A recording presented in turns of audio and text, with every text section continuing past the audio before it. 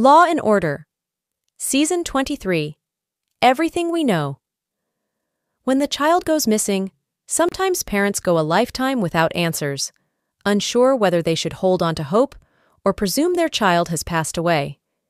That always gets to Benson, who is determined to help survivors heal. But it will also be raw and painful for Rollins and Carisi. When Rollins first became pregnant, she considered abortion because she didn't want to bring a child into a world full of the type of horror she comes face to face with every time she works with SVU. Working for this unit is one of the most traumatic jobs out there, and it took courage for Rollins and Carisi to decide to bring a child into this world, despite the horrors they deal with daily. But now, just as their baby comes into the world, someone else's disappears in broad daylight.